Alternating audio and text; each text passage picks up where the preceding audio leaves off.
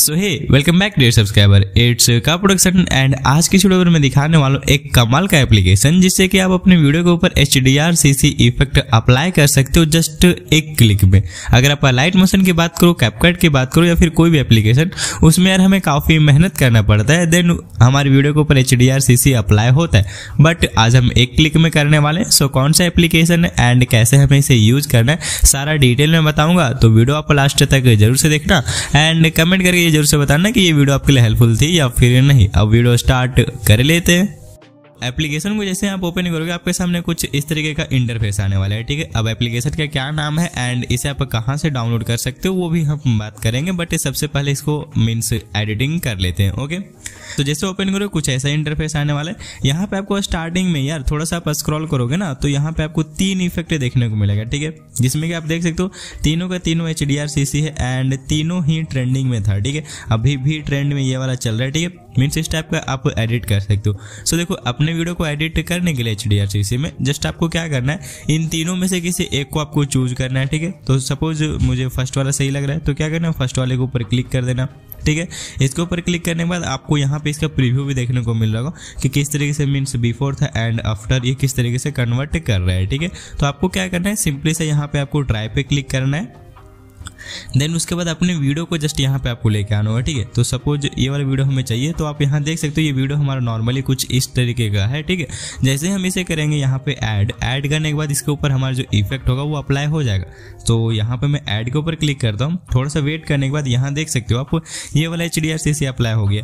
But ये उतना means सही नहीं लग रहा है। लेकिन अगर आपको अच्छा लगे तो आप इसे भी यूज़ कर सकते हो, ठीक है? तो मीन्स इस तरीके से हम फ़र्स्ट वाले इफ़ेक्ट को अप्लाई कर सकते हैं। अप्लाई करने के लिए क्या किया हमने? जस्ट एक वीडियो सेलेक्ट किया एंड हो गया एक क्लिक में, ठीक है? तो इस तरीके से आपको जस्ट इसे एडिट करना है। अब बात रही इसे सेव कैसे कर सकते हैं? सो सेव करने के लिए जस्ट आपको यहाँ पे क्लिक कर देना है एंड यहाँ पे आपका ये जो सेविंग होगा, वो स्टार्ट हो जाएगा। कुछ टाइम के बाद ही आपका गैलरी में सेव भी हो जाएगा। तो यार मैं तो फ़िलहाल कैंसिल कर रहा हूँ, मुझे सेव नहीं करना जस्ट मैं आपको दिखा दिया प्रोसेस कि किस तरीके से होता है, ठीक है? ना उसके बाद अगर आप सेकेंड इफ़ेक्ट की बात करो तो यहाँ देख सकते हो सेकंड इफ़ेक्ट काफ़ी कमाल का है, ठीक है? सो इसे इसे यूज़ करने के लिए फिर से आपको इसके ऊपर टैप करना होगा।